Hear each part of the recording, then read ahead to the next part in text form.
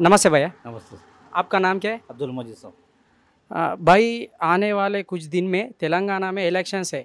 इस बार आ, पूरा तेलंगाना में देखे तो और इधर चार मीनार में देखे तो कौन आ रहे?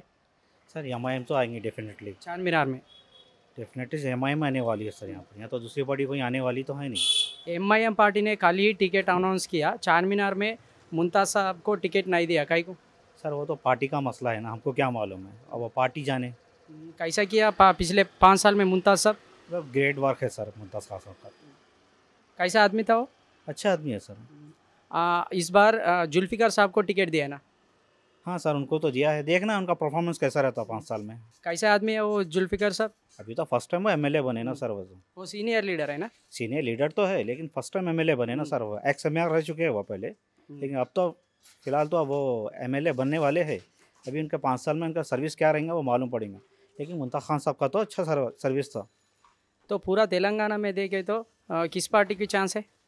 तेलंगाना में सर तो मेरे ख्याल से तो टी आर ही आएगी सर। बी आर एस आएगी। बी आर एस ही आएगी। कैसा किया पिछले दस साल में के सी आर साहब? के सी आर साहब का तो सर गुड वर्क है लेकिन ओल्ड सिटी में ज़रा कम है सर बहुत। ओल्ड सिटी में ज़रा वो उतना कॉन्सेंट्रेट नहीं दिया है सिटी में बहुत दिया हो।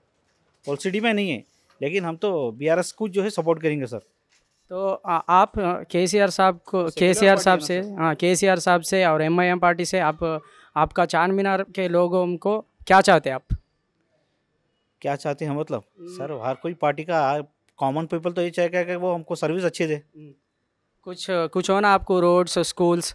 स्कूल तो है सर रोड भी है सब है यहाँ पर। क्या कुछ नहीं पानी भी नहीं सब अच्छा है? सब फैसिलिटीज़ है सर यहाँ पर। तो एम आई एम पार्टी में अच्छा किया पिछले अच्छा बार? अच्छा है सर वो हमेशा एम पड़ी रहेगी। नमस्ते भैया। नमस्ते सर बोलो। आपका नाम? इमरान। आ, भाई आज आने वाले कुछ दिन में तेलंगाना में इलेक्शंस है। इस बार आपका चार मीनार चार मीनार कॉन्स्टेंसी में कौन जीतने वाले? M I M M I M तो इस बार एम आई एम पार्टी ने आ, कल ही टिकट अनाउंस किया। मुमताज़ साहब को टिकट नहीं दिया। आ, ये क्या मतलब है इसमें? अब वो तो आप सदर साहब से पूछना। पार्टी के प्रेसिडेंट उन्होंने हैं। उन्होंने दिए टिकट तो वो सीनियर है ना। आ, आप चाहिए था फिर से से हेल्थ भी अच्छी है उनकी सेहत भी अच्छी है एक्टिव है। अभी भी थोड़ी देर पहले मैं ऑफ़िस जाके आया ऑफ़िस पे अवेलेबल है रात में वाल्टा पे रहते। मुकामी है सेहतमंद है। इस बार जुल्फिकार साहब को टिकट दिए। हम्म। वो कैसा आदमी? अच्छे हैं उन्होंने भी अच्छे हैं पार्टी के सीनियर लीडर है। एक्स मेयर थे उन्होंने मेयर थे हैदराबाद के हम्म। कॉरपोरेटर थे मेयर थे। तो पूरा तेलंगाना में देखे तो आपके अंदाज़े से कौन सा पार्टी अब आने वाले? मेरे ख्याल से तो कांग्रेस आएँगी साहब कांग्रेस। कांग्रेस आएँगी। सेवेंटी परसेंट कांग्रेस है थर्टी परसेंट मामू है हमारे के सी आर साहब। कैसा किया पिछले दस साल में के सी आर साहब? करे काम करे मगर जो करना था वो नहीं करे। जैसा हमारे को चॉकलेट देते हुए आ रही बारह परसेंट रिजर्वेशन देता हूँ बोले बोल दिए। और हमारे के साहब जो है, ज़्यादातर के सी आर रहने दो के टी आर रहने दो। ओल्ड सिटी को थोड़ा निगलेक्ट करते।